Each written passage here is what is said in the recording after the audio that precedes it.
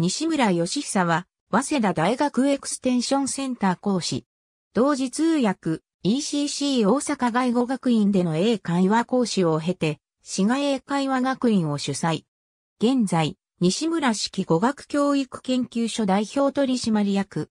京都市出身。京都市中京区の二条城近くに生まれる。京都外国語大学外国語学部英米、学科卒業後、同時通訳の傍ら ECC 大阪外語学院の英会話講師を務める。医学、企業向けの翻訳等も言っていたが、これまでの英会話、英語教育とその成果に疑問を抱き始め、独自で英語教育のあり方の研究を開始する。1970年には、滋賀英会話学院を設立し、中学高校で学習する従来の英語とは異なる独自の英語教育を展開してきた。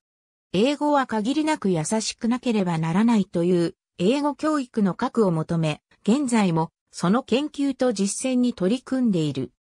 日本人による英会話は初心者の場合は大体が日本語イコール英語という言い回しを見つけようとしてそれにこだわるあまり挫折してしまうのが一般的である。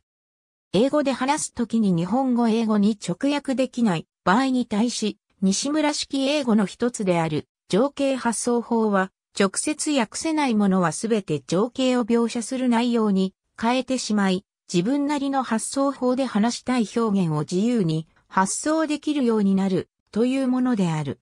有名な著書としては、英語は前置詞だ、中学英語でこんなにペラペラ、英語がいとも簡単に話せるなどがある。